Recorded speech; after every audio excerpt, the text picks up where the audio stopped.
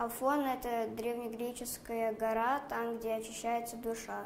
Такой полуостров в Греции, на котором находится гора. Это самая святая гора, гора в Греции. Афоны – это священная гора, которая обливается Эгеевским морем, куда, э, куда первые вступили мужчины.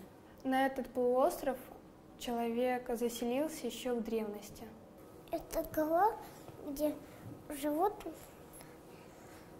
только мужчины. Давно-давно плыла на корабле Богородица. В 48 году Богородица отправлялась на Кипр. Но ее, но ее корабль попала в бурю. И Богородица, когда плыла на корабле, наткнулась на, на, на какую-то гору. Эта гора ей так понравилась, то что она попросила Господа, чтобы он подарил ей эту гору.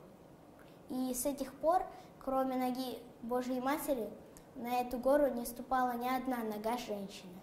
А еще, если не ошибаюсь, там только мужчины, женщин не ногой. К сожалению, я там никогда не смогу побыть. Мы подъезжали э, на определенное расстояние на корабле, куда женщине нельзя, 200 метров. Власти думают, что если туда зайдет хоть одна женщина, то всему живому конец и наступит конец света. Если когда женщина наступит туда, тогда она будет арестована, в тюрьме будет сидеть 12-11 месяцев. Вот. На этой горе 20 монастырей, только один из них православный.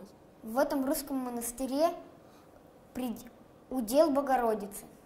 Этот монастырь святого Пантелеймона Целителя. Он очень красивый и большой. В эти монастыри нельзя заходить женщинам. Если женщина войдет, то это уже грех. Она согрешила. А мужчина может, потому что он, он не грешный. Вот.